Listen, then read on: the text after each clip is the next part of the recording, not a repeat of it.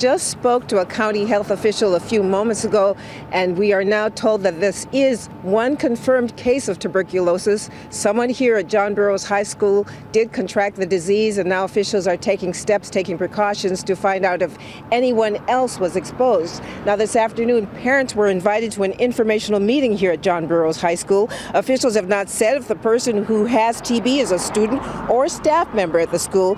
Earlier this week, the Burbank Unified School District sent a letter to parents saying this letter is a notification of, to the school of the TB exposure and it's just to inform you that there has been an exposure at the school in which your child attends.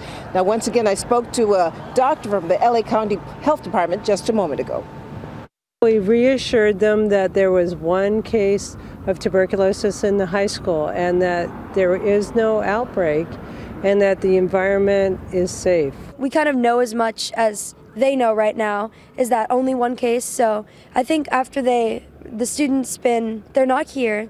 So I think most people are kind of just like, okay, we need to come, we need to just chill out and like wait for the testing and see what happens. So once again, officials say they are reaching out to parents so that they can know that if their students may be someone who was exposed to the person who has TB, also they're checking staff members, but they also have informed parents that they want them to know that tuberculosis is curable. But once again, right now they have confirmed that they do have one case of the disease. Someone at the school contracted tuberculosis.